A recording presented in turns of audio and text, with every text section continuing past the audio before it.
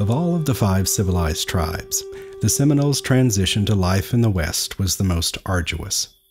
Arriving as a ragtag group, essentially captured as prisoners during the Second Seminole War, the Seminoles came late to the Indian Territory and found themselves in a strange new world. Initially forced to live under Creek rule and denied their own right of self determination, the Seminoles struggled to adapt to the political, cultural, and environmental challenges set upon them in their new home. In addition to having to overcome the harsher climate and less abundant food sources, they had to wage a 10 year battle at home and in Washington against a federal Indian policy that was suppressing both their identity and their spirit.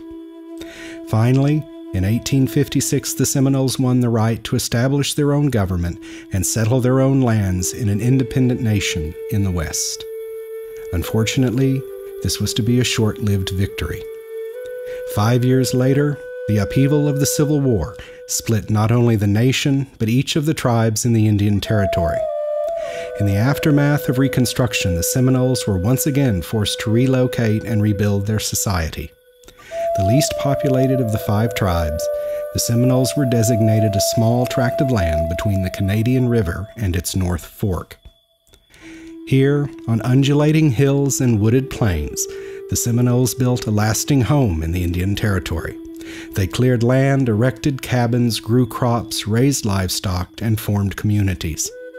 With stubbornness and determination, they overcame obstacles of man and nature to build a society of great cultural worth and prominence.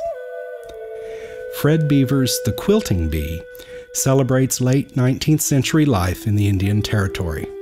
It depicts Seminole women gathered under a brush arbor sewing a quilt a typical functional and social event of the period.